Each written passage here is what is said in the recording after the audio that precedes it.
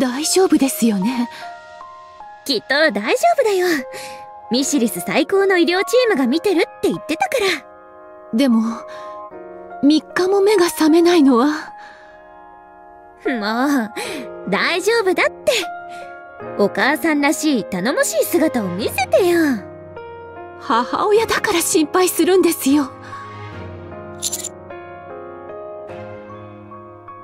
いいえ私はあの子の母親ですから。10年でも20年でもあの子のそばにいますよ。この手帳実は N と会ってしたことを全て記録していたんです。今まで見せていなかったのですがこれからは見せようと思います。毎日もう逃げません。うん。ルピーも手伝うね。起きたわ。ほら出てきて。ここんにちは N 私が誰かっていうと。え？お母さんとルピーお姉ちゃんに先生までどうしてここにいるんですか？もしかして一緒に遊びに行くんですか？それで私を待ってたんですか？え じゃあ早く行きましょう。私行きたいところがあるんです。ええー、これは一体？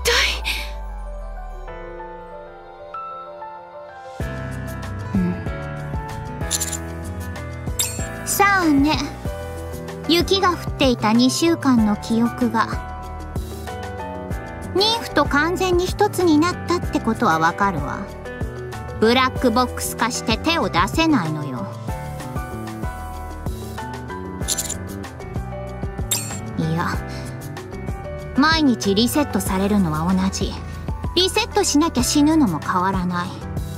でもブラックボックス化した記憶はそのまま残るのよ。わけわかんないわ。あはは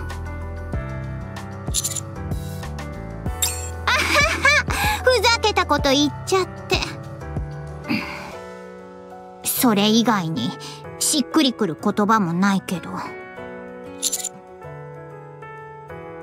何もしないわよ。手を出すことすらできないんだから。あのまま放っておくしかないわ。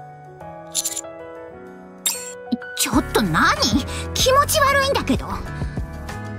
先生先生も早く来てください。早く行ってよ。